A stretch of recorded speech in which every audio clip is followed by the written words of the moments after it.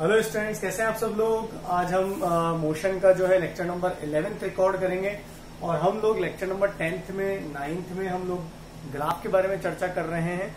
बहुत important aspect है, ध्यान रखिएगा। तो ग्राफ को और आज हम एक्सप्लोर करने की कोशिश करेंगे। दो टाइप के ग्राफ आप लोगों को नाइन्थ क्लास में पढ़ने हैं। एक डिस्टेंस टाइम ग्राफ यानी एस टी कर्व डिस्टेंस को हम किससे इंडिकेट कर रहे हैं? एस से। और एक आपका है वेलोसिटी टाइम कर्व या स्पीड टाइम कर्व तो दो टाइप के कर्व डिस्कस करेंगे। हम लोगों ने डिस्टेंस टाइम कर्व शुरू कर दिया था। दो केसेस हम, आज देखिए छह अलग अलग केसेस मैंने आपके सामने बोर्ड पे पहले से ही लिख कर रखे हैं। छह अलग अलग केसेस में हम लोग, पहले जो केस है वो क्या हम लोग देख रहे हैं? देखिए ग्राफ का मतलब क्या है? जो भी, जैसे मान लीजिए यहाँ पे हमने पहली कंडीशन रखी है। कि एक बॉडी अगर रेस्ट में है तो आप उसको ग्राफ के थ्रू डिस्टेंस टाइम ग्राफ के थ्रू कैसे इंडिकेट करेंगे? तो मैंने आपको बताया था कि अगर मान लीजिए कोई बॉडी अगर रेस्ट में है रेस्ट में का मतलब क्या है? कि उसकी पोजीशन नहीं बदल रही। मतलब अगर मान लीजिए मेरी गाड़ी अगर कहीं ट्रैफ़िक में अटक गई, एक घंटे तक मैं वहीं खड़ा रहा, यानी टाइम तो बढ़ रहा है। एक घंटे यानी मैं ग्यारह बजे में खड़ा हुआ गाड़ी लेकर ट्रैफ़िक में, बारह बज चुके हैं, एक घंटे का टाइम बीत चुका टाइम इज़ इंक्रीजिंग और हम ग्राफिकल मेथड में जब हम लोगों ने शुरू किया था तो हम लोगों ने ग्राफ किसके बीच में बना रहे थे? डिस्टेंस और टाइम के बीच में। तो टाइम को हम लोग कहाँ पे ले रहे थे? एक्स एक्सिस पर, यानी यहाँ पर एक्स एक्सिस पर, और डिस्टेंस को हम कहाँ पे ले रहे थे? वाई एक्सिस पे। ध्यान रखिएगा। तो यहाँ हम क्या लिख रहे हैं? डिस्टेंस। अब हमारी कंडीशन क्या है? Body is at rest traffic में अटक गए 11 से 12 बज गई टाइम इंक्रीज हो गया, लेकिन पोजीशन वहीं की वहीं है। यानी देखिए डिस्टेंस का वेरिएशन हम वाई एक्सिस पे लेंगे और यानी इसको आप ज़ीरो मान लें और डिस्टेंस हम डिस्टेंस पॉजिटिव ही लेंगे। ध्यान रखिए डिस्टेंस एक पॉजिटिव चीज़ है। तो यहाँ पर अगर डिस्टेंस बदले डिस्टेंस में कोई बदलाव है तो वाई एक्सिस पे आएँगे और टाइम में जो बदलाव आएँगे, वो पॉजिटिव एक्स डायरेक्शन में आएँगे। कहाँ पर आएँगे? पॉजिटिव एक्स डायरेक्शन में। तो देखिए, अगर बॉडी एट रेस्ट है तो आपका जो ग्राफ आएगा, वो कैसा आएगा? स्ट्रेट लाइन आएगा, ये अपन पढ़ चुके हैं। टाइम जिस एक्सिस पे हमने लिया है, उसके पैरेलल आएगा मीन आपका टाइम तो लगातार बढ़ रहा है बट ऑब्जेक्ट की पोजीशन नहीं बढ़ रही, वो यहीं पर है। जिस पॉइंट पर है, वहीं पर रखा है। ध्यान रखिएगा। तो ये हमारा पहली कंडीशन को सेटिस्फाई कर रहा है। बॉडी इज़ एट रेस्ट को इंडिकेट करने का तरीका। दिमाग में भी सेट कर लें। बॉडी इज़ एट रेस्ट का डिस्प्लेसमेंट टाइम कर क्या होगा? स्ट्रेट लाइन किसके स्ट्रेट लाइन टाइम जिस एक्सेस पे लिया है, उसके पैरेलल आपको ग्राफ बनाना है। ध्यान रखिएगा। दूसरा आपका जो कंडीशन है, ये भी हम लोग देख चुके हैं। Body is in uniform motion body is in uniform motion एक होता है यूनिफॉर्म मोशन एक होता है यूनिफॉर्मली एक्सेलरेटेड मोशन तो मैंने भी यूज़ किया यूनिफॉर्म मोशन यूनिफॉर्म मोशन का मतलब क्या है? वेलोसिटी शुड रिमेन कॉन्स्टेंट क्या बोल रहे हैं uniform velocity should remain constant यानी वेलोसिटी में कोई बदलाव नहीं आना चाहिए। टाइम बदले, लेकिन वेलोसिटी ना बदले। जबकि पहले वाले केस में क्या है? Body is at rest time बढ़ रहा है, लेकिन बॉडी की पोजीशन नहीं बदल रही। नेक्स्ट केस क्या है? A body is in uniform motion uniform motion के बाद इक्वल टाइम इंटरवल में टाइम इंटरवल का मतलब क्या होता है? कि अपने बाद वाले टाइम जैसे मान लीजिए टाइम इंटरवल 11 से 12 एक घंटा 12 से एक। तो 11 से 12 के बीच में आपकी जो पोजीशन बदली है, यानी वही पोजीशन 12 से 1 के बीच में बदले, वही पोजीशन 1 से 2 के बीच में बदले, ये हम पहले चर्चा कर चुके हैं। तो ग्राफ कैसा आएगा? Body is in uniform motion का जो डिस्टेंस टाइम कर रहे वो कैसा आएगा? आप शॉर्ट में देखिए यहाँ बना सकते हैं। वाई एक्सिस पर डिस्टेंस लेंगे एक्स एक्सिस पर टाइम लेंगे तो ग्राफ कैसा आएगा? स्ट्रेट लाइन कैसा आएगा? Straight line body is in uniform motion body is in uniform motion का मतलब क्या है? वेलोसिटी ना बदले. ग्राफ कैसा आएगा? सीधी लाइन क्लियर है? ये अपना ओरिजिन है ज़ीरो पॉइंट है ग्राफ का, जिसको हम कैसे इंडिकेट करते हैं ज़ीरो भी बोल सकते हैं ज़ीरो ज़ीरो भी बोल सकते हैं, ध्यान रखिएगा। थर्ड केस आज आपके लिए नया है, इसको देखिएगा। यहाँ आज आपके लर्निंग है और आपको ग्राफ बिल्कुल मेमोराइज करने हैं। ध्यान रखने हैं, जब भी कंडीशन है स्ट्रेट लाइन है डिस्टेंस टाइम कर यानी मीन्स आपको अगर ऐसे दे दिया, आपको पिक्टोरियल रिप्रेजेंटेशन दिया हुआ है। यहाँ आपको लिखा है टाइम और यहाँ लिखा है डिस्टेंस यानी एस और ग्राफ अगर सीधी लाइन है तो आप इसको देखकर क्या बोलेंगे? आप इसको देखकर क्या प्रडिक्शन निकालेंगे आपके दिमाग से? क्या निकालेंगे? क्या लिखेंगे? Body is in uniform motion और यूनिफॉर्म मोशन का मतलब क्या है? जो बॉडी है, वो कांस्टेंट वेलोसिटी के साथ कांस्टेंट स्पीड के साथ आगे बढ़ रही है। ध्यान रखिएगा। और मैंने ये कैसे बोला यूनिफॉर्म मोशन क्योंकि ग्राफ हमारा किसके बीच में था? डिस्टेंस टाइम के बीच में. क्लियर है? तो ग्राफ देखकर आपको समझ में आना चाहिए कि हम क्या बात करना चाह रहे हैं. थर्ड केस आपके लिए नया है. Two body moving with different velocities नहीं, ये भी हम चर्चा कर चुके हैं लेक्चर नंबर प्रीवियस लेक्चर में. तो आपको दो अलग अलग बॉडीज के बारे में बात कर, दो अलग अलग बॉडीज के बारे में बात कर रहे हैं. हम दोनों को एक साथ ही, दोनों को ग्राफ एक साथ ही बनाना चाहते हैं दो अलग अलग बॉडीज के लिए. डिस्टेंस को आप लेंगे वाई एक्सिस पे एक्स एक्सिस पे आप किसको लेंगे? टाइम को बिल्कुल रट जाना चाहिए, ध्यान रखिएगा। अब ये मान लीजिए बॉडी ए के लिए बात करें ए बॉडी का मोशन है, ध्यान रखिएगा। और ये हम किसके लिए बात कर रहे हैं? बी बॉडी का। अब कंडीशन क्या लिखिए? Two bodies two bodies moving with two bodies moving with different velocities ध्यान रखिएगा two bodies moving with different velocities मतलब दो अलग अलग बॉडीज हैं अलग अलग वेलोसिटी के साथ ट्रेवल कर रही हैं। तो उसको कैसे इंडिकेट करेंगे? देखिए, मैंने लास्ट क्लास में बहुत इंपॉर्टेंट टर्म हम लोगों ने यूज़ की थी स्लोप क्या यूज़ किया था? स्लोप ऑफ़ कर्व अब स्लोप का मतलब क्या होता है? मैं फिर रिपीट कर देता हूँ। जैसे मान लीजिए, आपका जो डिस्टेंस टाइम कर्व है ए बॉडी के मोशन के लिए कैसा आ रहा है? ये वाला ग्राफ है सपोज़ कीजिए ये वाली स्ट्रेट लाइन है। अब ये पॉजिटिव एक्स ये हमारा पॉजिटिव एक्स डायरेक्शन है, क्योंकि ये ज़ीरो ज़ीरो पॉइंट है, ध्यान रखिएगा। ये पॉजिटिव एक्स डायरेक्शन होगा, इसके इधर आया जाए तो ये नेगेटिव एक्स डायरेक्शन होगा। तो ग्राफ जो है ए बॉडी के लिए बात कर रहा हूँ। ये जो ए बॉडी का मोशन का जो ग्राफ है, वो पॉजिटिव एक्स डायरेक्शन से कितना एंगल बनाता है? वही क्या कहलाता है? स्लोप अभी तक के लिए आप, ये डेफिनेशन आपके लिए सफिशियंट है, ध्यान रखिएगा। तो ये ए बॉडी के लिए आया और जो बी बॉडी का मोशन है, उसके लिए स्लोप हमारा, अगर मान लीजिए स्लोप का मतलब एंगल और एंगल को जनरली किससे इंडिकेट करते हैं? थीटा से। तो पहली वाली बॉडी का जो स्लोप है वो थीटा वन है, दूसरी वाली बॉडी का स्लोप क्या है? थीटा टू है। तो theta two is more than theta one ये दिख रहा है। ये वाला जो एंगल अगर आप नापोगे कैलकुलेट करोगे तो ये वाला एंगल ज़्यादा आएगा, और ये वाला एंगल क्या आएगा? कम आएगा। तो हम लिख सकते हैं, ये रिलेशन आप लिख सकते हैं ग्राफ से। तो ध्यान रखिएगा डिस्टेंस टाइम कर्व में जिस बॉडी के ग्राफ के लिए स्लोप ज़्यादा होगा थीटा ज़्यादा होगा, उसकी वेलोसिटी भी क्या होगी? ज़्यादा। क्योंकि स्लोप ऑफ़ आप ये हम लोग पढ़ चुके हैं स्लोप ऑफ़ इसको भी आप ऐसे लिखें slope of S T curve gives मतलब अगर आपको एस एस टी ग्राफ दिया हुआ है, उस ग्राफ का आप क्या निकाल लें? स्लोप निकाल लें। क्या निकाल लें? स्लोप निकाल लें। तो आप लोगों ने स्लोप निकालने का तरीका कैसे निकालेंगे? जो भी एस टी कर्व है, जो भी आपका एस टी कर्व जैसे ए बॉडी के लिए एस टी कर्व ये आपको ये दिख रहा है, और बी बॉडी के लिए एस टी कर्व आपको ये वाला दिख रहा है। तो ये जो एस टी कर्व का जो लाइन है ए बॉडी के लिए, वो एक्स एक्सिस से कितना एंगल बना रहा है? कितना एंगल बना रहा है? थीटा वन क्लियर है? और बी बॉडी के लिए कितना बना रहा है? थीटा टू तो ये जो स्लोप है, वो किसको डिफाइन करता है? उस मूविंग बॉडी का वेलोसिटी स्पीड को ध्यान रखिएगा। Slope of S T curve gives velocity ये मैं लिख रहा हूँ उसको अच्छे से नोट कीजिएगा। वेलोसिटी ऑफ़ किसकी? मूविंग ऑब्जेक्ट की। किसकी? मूविंग ऑब्जेक्ट की। जो भी ऑब्जेक्ट मूव कर रहा है डेफिनेटली इसका इसमें वेलोसिटी तो होगी, क्योंकि वो मूव कर रहा है उसकी पोजीशन लगातार बदल रही है। तो क्लियर है? अब यहाँ पर आप ये देख सकते हैं ग्राफ से theta two is more than theta one clear है? और थीटा टू किसके लिए? है बॉडी ए के लिए और थीटा वन किसके लिए? बॉडी थीटा टू किसके लिए? बॉडी बी के लिए और थीटा वन किसके लिए? बॉडी ए के लिए। तो क्योंकि थीटा टू ज़्यादा है थीटा वन से हम क्या कह सकते हैं? Speed of body B is more than speed of body A ये आप इन ग्राफ्स को देखकर बता सकते हैं। और हमारी यही कंडीशन थी two bodies moving with different velocity यानी किसी एक बॉडी की वेलोसिटी दूसरी बॉडी के कंपैरिजन में या तो ज़्यादा होगी या कम होगी। हम ऐसे ही बोल सकते हैं speed of body A is less than speed of body B ये भी हम बोल सकते हैं, ध्यान रखिएगा।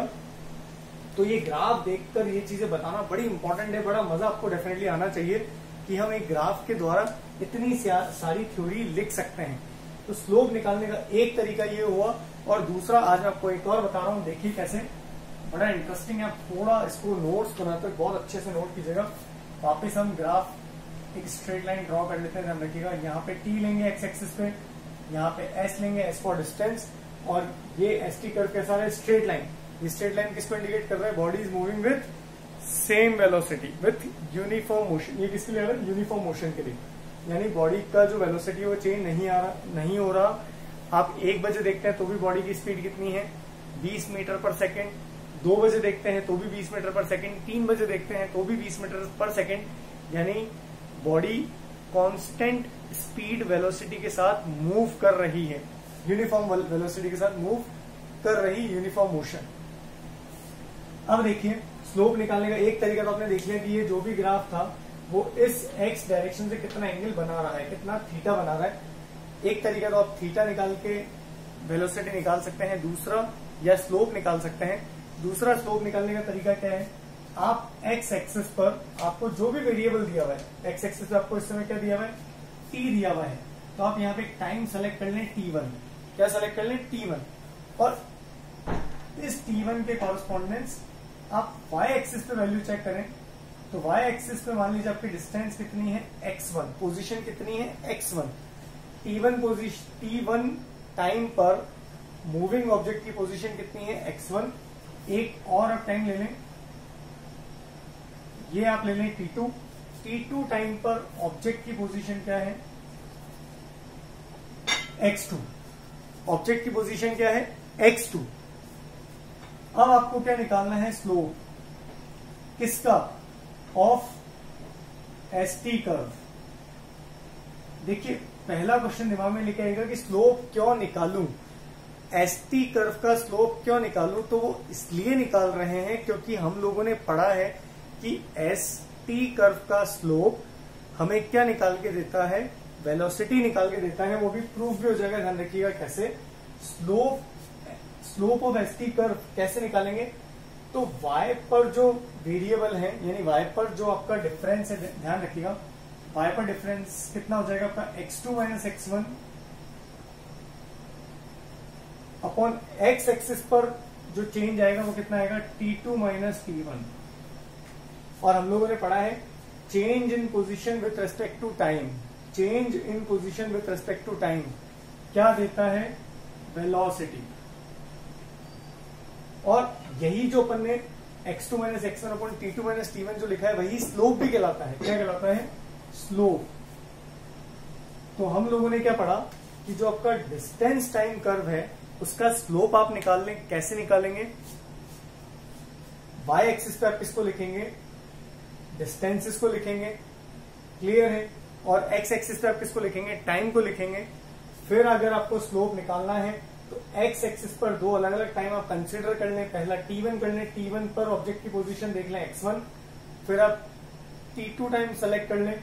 उस पर ऑब्जेक्ट की पोजीशन देख लें कितनी आ रही है। एक्स टू फिर आपको क्या करना है? वाई एक्सिस पर जो पोजीशन में चेंज है that is X two minus X one किसके कॉरेस्पॉन्डेंस है? टी टू टी वन के है तो T two minus T one यही क्या कहलाता है? स्लोप कहलाता है। और यही स्लोप क्योंकि हम लोग पहले पढ़ चुके हैं change in position with respect to time क्या कहलाता है वेलोसिटी यानी जो हमारा एक्स टी कर्व है, जो एस टी कर्व है, उसका स्लोप हमें क्या निकाल के देता है? उसको, यानी हमारे लिए जो स्लोप है, वो वेलोसिटी भी है। ध्यान रखिएगा एस टी कर्व के केस में। तो अब अगर मैं शॉर्ट में अगर लिखना चाहूँ, देखिए, हम क्या लिख सकते हैं? वेलोसिटी निकालने का तरीका change in position with respect to change in time ये आप जानते हैं। और यही चीज़ अगर ग्राफ में देखूँ तो ये स्लोप कहलाती है। और इसी स्लोप को हम एक और तरीके से कैसे निकाल सकते हैं? थीटा। तो ये लाइन आप याद कर ले, बहुत अच्छे से आगे भी काम आएगी। जब हम बीटी कर्व पढ़ रहे होंगे, बहुत इंपॉर्टेंट है स्लोप निकालने का तरीका। थीटा से भी निकाल सकते हैं। यानी ये अगर हमारा ग्राफ है तो ये एक्स एक्सिस से कितना एंगल बना रहा है? इतना बना रहा है, इतना बना रहा है। अगर ज़्यादा एंगल बना रहा है तो वेलोसिटी ज़्यादा हो जाएगी। कम एंगल बना रहा है तो वेलोसिटी कम हो जाएगी ध्यान रखिएगा। और दूसरा तरीका स्लोप निकालने का। जो वाई एक्सिस पे जो भी आपने चीज़ ली है, हमने इस समय क्या ली है? डिस्टेंस लिए X two minus X one divided by T two minus T one क्या कहलाता है? स्लोप चलिए, ये कॉन्सेप्ट हमारा क्लियर हुआ। इसके बाद हमारा पॉइंट नंबर फोर्थ ये बहुत इंपॉर्टेंट है, देखिए। अच्छा मैं अभी आपसे एक और चीज़ पूछ लेता हूँ। इससे पहले जो हम लोगों ने ग्राफ देखा था, यहाँ हम लोग ले रहे हैं डिस्टेंस यहाँ हम लोग ले रहे हैं टाइम हमारा ग्राफ हम लोगों ने जब ये बनाया था तो हम लोगों ने क्या बोला था? ग्राफ हमारा स्ट्रेट लाइन था पैरेलल टू एक्स एक्सिस था। हम लोगों ने क्या बोला था?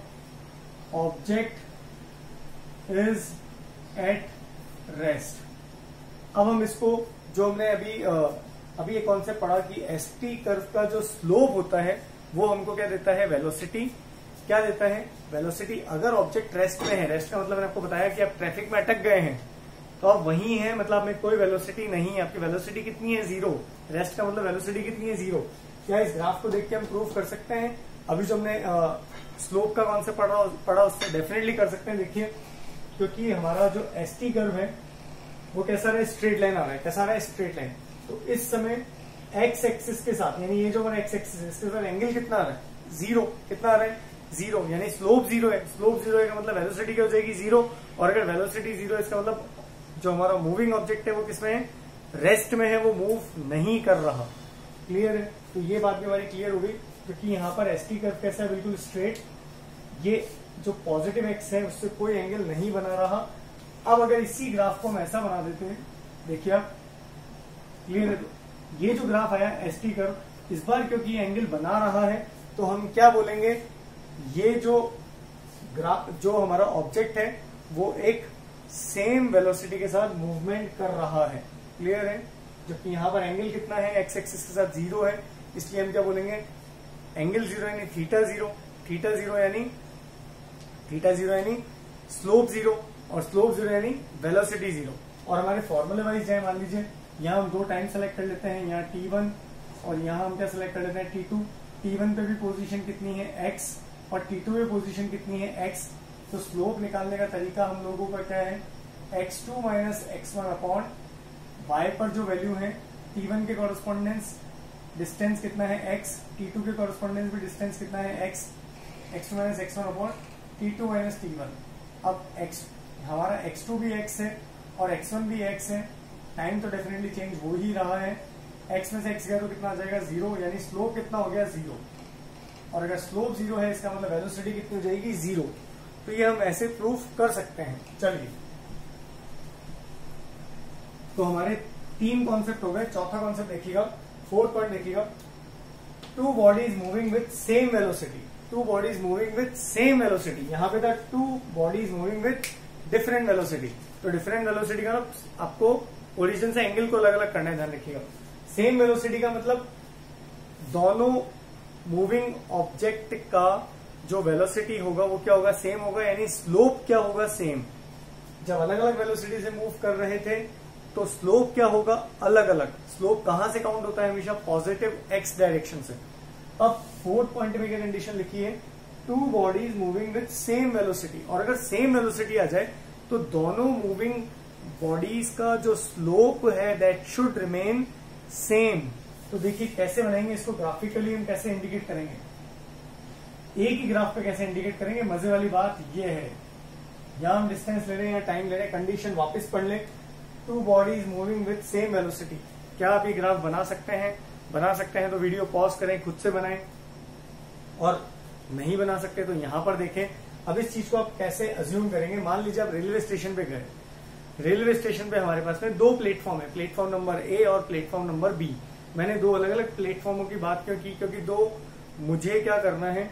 दो मूविंग ऑब्जेक्ट की आपको बात की है। दोनों अलग अलग पोजीशन पे हैं। दो ट्रेनें खड़ी हैं, एक प्लेटफॉर्म ए पे खड़ी है, एक प्लेटफॉर्म बी पे खड़ी है। क्लियर है? अब दोनों सेम स्पीड से जा रही हैं। दोनों की वेलोसिटी सेम है बट दोनों की पोजीशन सेम नहीं है। तो देखिए, इस चीज़ को हम यहाँ कैसे इंडिकेट करेंगे? मान लीजिए, हमारी जो पहली ट्रेन है, वो ज़ीरो पॉइंट पे खड़ी है। वो zero platform platform number zero पे खड़ी है। फिर उसने मूव करना चालू किया। और मूव करना चालू किया किससे मूव करना चालू किया? यूनिफॉर्म मोशन में उसने मूव मूवमेंट चालू किया। मतलब उसकी वेलोसिटी सेम है, ध्यान रखिएगा ये मान लीजिए हमारा ऑब्जेक्ट ए है ट्रेन ए है। अब एक और ट्रेन है, जो अलग पोजीशन पे रखी है। कहीं और खड़ी है। प्लेटफॉर्म नंबर टू पे खड़ी है थ्री पे खड़ी है। पोजीशन अलग है। तो पोजीशन अलग है मतलब वो ट्रेन यहाँ से तो शुरू नहीं होगी, उसकी पोजीशन अलग है। तो उसको मान लेते हैं यहाँ कहीं पे होगी वो ट्रेन तो उसका ग्राफ जो आएगा वो जो ट्रेन ए, ए है उस ग्राफ के क्या आना चाहिए? पैरेलल। देखिए ऐसा कुछ। क्लियर है? ये ट्रेन बी की बात हो रही है। मैंने इसको यहाँ से क्यों बनाया? यहाँ से बनाने का कारण समझाया। मैं चाहता तो इसको यहीं पर बना देता लेकिन आपको थोड़ा सा अंतर महसूस नहीं होता। मैं चाहता तो इसको यहाँ पर भी बना सकता था।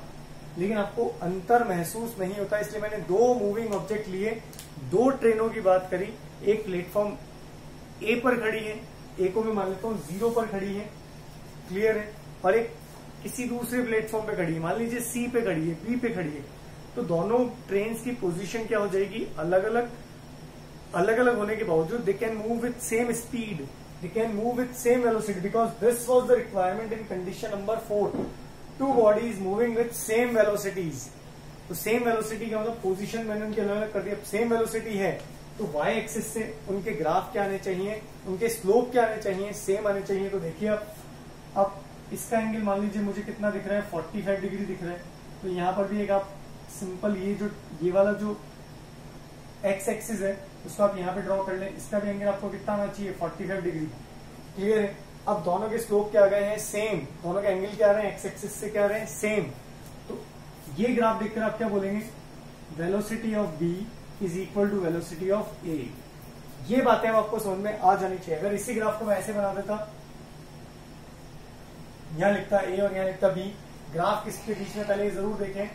ये ग्राफ किसके बीच में होना चाहिए? Distance time curve distance time curve distance time curve का स्लोप क्या देता है? वेलोसिटी तो ये हमारा इसको देख के हम क्या बोल सकते हैं, क्योंकि यहाँ पे ए जो मूविंग ऑब्जेक्ट है, उसका एंगल ज़्यादा है पॉजिटिव एक्स से और बी का एंगल क्या है, कम है तो देख के क्या बोल सकते हैं V A is more than V B clear है? यहाँ V B is equal to क्या होगा वी ए क्योंकि दोनों का एंगल क्या है पॉजिटिव एक्स डायरेक्शन से टाइम वाले एक्सेस से एंगल क्या है सेम है तो वेलोसिटी भी क्या होगी सेम होगी, बिल्कुल अच्छे से दिमाग में ध्यान रख लें, समझ लें तो चार पॉइंट हम खत्म कर चुके हैं नेक्स्ट पॉइंट देखिए। When the body is in non uniform motion what is the meaning of non uniform motion non uniform motion का मतलब जो हमारा मूविंग ऑब्जेक्ट है, उसकी वेलोसिटी चेंज हो रही है। क्या हो रही है? चेंज हो रही है। मतलब वेलोसिटी अगर चेंज हो रही है तो वहाँ पर क्या आ जाएगा? एक्सेलरेशन क्या आ जाएगा? एक्सेलरेशन आपको ग्राफ ध्यान रखने हैं। कुछ पॉइंट मैं आपको डेफिनेटली बताऊँगा। इस ग्राफ को कैसे इंडिकेट करना है? देखिए two body is moving with ये तो अपना हो गया। फिफ्थ पॉइंट देखिए when the body is in non uniform motion एक होता है uniform motion means velocity change नहीं हो रही है। एक होता है नॉन यूनिफॉर्म मोशन मतलब वेलोसिटी चेंज हो रही है। वेलोसिटी चेंज दो तरीकों से चेंज हो सकती है। या तो अभी जो वेलोसिटी है, उससे ज़्यादा वेलोसिटी हो जाए, जिसको हम क्या बोलेंगे? एक्सलरेशन और अभी जो वेलोसिटी है, उससे वेलोसिटी कुछ समय के बाद क्या हो जाए? कम हो जाए, जिसको हम क्या बोलेंगे? रिटार्डेशन तो इसीलिए दो ग्राफ हम लोग यहाँ प्लॉट करेंगे, देखिए कैसे बनेंगे दो ग्राफ। बहुत इंपॉर्टेंट है फिफ्थ कंडीशन यानी अब हम एक्सेलरेशन को इंट्रोड्यूस कर रहे हैं एसटी ग्राफ में। एसटी ग्राफ में ही एक्सेलरेशन कैसा आएगा? एक्सेलरेशन कैसा आएगा? नॉन यूनिफॉर्म मोशन कैसे परफॉर्म होगा? तो देखिए, आपको ग्राफ कैसा बनाना है। इस बार स्ट्रेट लाइन नहीं बनाएँगे, कैसा बनाएँगे? ग्राफ में क्या आएगा? कर्व आ जाएगा। क्या आ जाएगा? कर्व तो जब भी आपका ग्राफ ऐसा हो ये किसको इंडिकेट करेगा? एक्सलरेशन को। यानी एक चीज़ आप समझ लें, जब मोशन कैसा हो non uniform motion non uniform का मतलब क्या है? वेलोसिटी इज़ चेंजिंग और अगर velocity is changing with respect to time तो वहाँ पर हम एक नई टर्मिनोलॉजी इंट्रोड्यूस करते हैं एक्सलरेशन जो कि दो टाइप का हो सकता है पॉजिटिव एक्सलरेशन और negative acceleration positive acceleration means velocity is increasing और नेगेटिव एक्सेलरेशन का मतलब velocity is decreasing with respect to time तो जब पॉजिटिव एक्सेलरेशन हो तो ध्यान रखिएगा, चाहे पॉजिटिव एक्सेलरेशन हो, चाहे नेगेटिव एक्सेलरेशन हो, कुल मिला के नॉन यूनिफॉर्म मोशन है तो ग्राफ कैसा होगा? इस बार स्ट्रेट लाइन नहीं होगा। क्या होगा? कर्व होगा। कर्व भी दो टाइप के। अगर ये वाला कर्व आ जाए तो एक्सेलरेशन और अगर ये वाला कर्व आ जाए तो रिटार्डेशन ये बहुत अच्छी ट्रिक है, आप याद रखिएगा। मैं इसको भी इंप्लीमेंट करके आपको बता रहा हूँ, ध्यान रखिए। तो यहाँ पर आप देखिए, ये ग्राफ कैसा है? कैसा है? ये इस शेप को इंडिकेट कर रहा है तो हम इसको क्या बोलेंगे? दिस इज़ एक्सेलरेशन अब ये एक्सेलरेशन है, इसको भी पता करने का मेथड लेकिन अभी आप सिंपल इसको ध्यान रखिए बॉडी क्या है? एक्सेलरेटेड है। एक्सेलरेटेड मोशन में है, ध्यान रखिएगा। या बहुत अच्छे से समझे। इसको पता करने का मैं ट्रिक बताता हूँ। देखिए बच्चों, समझने की कोशिश कीजिएगा। थोड़ा सा टेक्निकल पॉइंट है। मैं एक बार आपको बताने का ट्राई करता हूँ। ग्राफ आप इस टॉपिक को वीडियो में देखिएगा अच्छे से। अगर समझ में नहीं आता, हम इसको फिर अगले वीडियो में एक बार फिर से शुरू करेंगे। लेकिन एक बार आप समझिए, दो मिनट कॉन्सेंट्रेट होके। देखिए, अब एक्सलरेशन है। पहली बात तो अभी ध्यान रखिए, जब भी ग्राफ में कर एस ग्राफ में अगर क्या आ जाए कर्व आ जाए तो वो किसको इंडिकेट करता है? चेंज इन स्पीड को। मतलब स्पीड या तो बढ़ रही है घट रही है। मैंने बोला, अगर ऐसा ग्राफ है तो स्पीड बढ़ेगी। देखिए कैसे। अब आप क्या करें? जैसे मान लीजिए इस पॉइंट के ऊपर मुझे देखना है कि आपकी स्पीड कितनी है। तो आप क्या करें? यहाँ पे टेंजेंट ड्रॉ करें। क्या ड्रॉ करें? टेंजेंट ये पी पॉइंट मान लें। टेंजेंट क्या होता है? किसी पॉइंट पर एक टेंजेंट ड्रॉ करने से मान लीजिए कर्व है तो ये टेंजेंट जो कर्व को केवल एक पॉइंट पे टच करे। टेंजेंट का मतलब क्या होता है? जो कर्व को केवल एक पॉइंट पे टच करे, वो लाइन जो किसी कर्व को केवल एक सिंगल पॉइंट पे टच करे। तो मैंने पी पॉइंट लिया, यहाँ पे एक स्ट्रेट लाइन ड्रॉ करी। अब मैंने क्यू पॉइंट लिया, यहाँ पे एक स्ट्रेट लाइन ड्रॉ करी। मैंने फिर आर पॉइंट लिया, यहाँ पे क्या करी? एक स्ट्रेट लाइन ड्रॉ करी। ये पहला टेंजेंट है दूसरा टेंजेंट और तीसरा टेंजेंट अब आप इन टेंजेंट के लिए एक पैरल लाइन ड्रॉ करें टी के रिगार्डिंग यहाँ पे भी ड्रॉ करें, यहाँ पे भी ड्रॉ करें. देखिए, जब पी पॉइंट की बात करी थी तो एंगल क्या है? थीटा वन जब क्यू पॉइंट की बात करी तो एंगल कुछ बढ़ गया, आप चेक करें थीटा टू जब आर पॉइंट की बात करें तो एंगल और ज़्यादा बढ़ गया थीटा थ्री अब इसको देख के मैं क्या बोल सकता हूँ? Theta one is less than theta two is less than theta three यानी सबसे बड़ा एंगल कौन सा है? थीटा थ्री तो आप क्या देख रहे हैं? ऑब्जेक्ट की जो स्पीड क्योंकि एंगल बढ़ रहा है, और एंगल बढ़ रहा है, इसका मतलब वेलोसिटी इज़ इंक्रीजिंग ये है तो एक ही मूविंग ऑब्जेक्ट इस मूविंग ऑब्जेक्ट की अलग अलग पोजीशन पे जो स्पीड आ रही है, वो क्या आ रही है? बढ़ते हुए ऑर्डर में आ रही है रखिएगा। ठीक तो यहाँ पे हम क्या बोलेंगे? एक्सलरेटेड मोशन थोड़ा समझने की कोशिश कीजिएगा आप इस चीज़ को। ये जो ग्राफ है, वो किसको इंडिकेट करता है? एक्सलरेटेड मोशन को ध्यान रखिएगा। अब अगर मान लीजिए मुझे इंडिकेट करना है रिटार्टेशन तो रिटार्टेशन को देखिए आप कैसे इंडिकेट करेंगे यहीं पर बना लेते हैं इस चीज़ को भी। देखिए देखिए रिटार्डेशन को अगर इंडिकेट करना है डिस्टेंस टाइम कर्व में तो वो ऐसा ग्राफ बनेगा, ध्यान रखिएगा। अब कैसे आप ये साबित कर सकते हो कि रिटार्डेशन है? पहले तो मैंने आपको ट्रिक बता दी।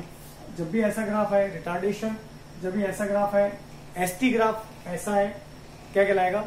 एक्सलरेशन अब आप साबित देखिए कैसे करेंगे। वही तीन पॉइंट आप सेलेक्ट कर लें। मैंने कोई से भी तीन पॉइंट सेलेक्ट किया, यहाँ पे टेंजेंट ड्रॉ किया। टेंजेंट क्या होता है? टेंजेंट क्या होता है? वो लाइन होती है जो किसी कर्व को किसी एक पॉइंट पे टच करे। सिर्फ़ एक पॉइंट पर तो मैंने पी पॉइंट लिया, वहाँ पे टेंजेंट ड्रॉ करी। फिर मैंने एक और पॉइंट लिया दिस इज़ पी पॉइंट मैंने एक और पॉइंट लिया, यहाँ पे एक टेंजेंट ड्रॉ किया।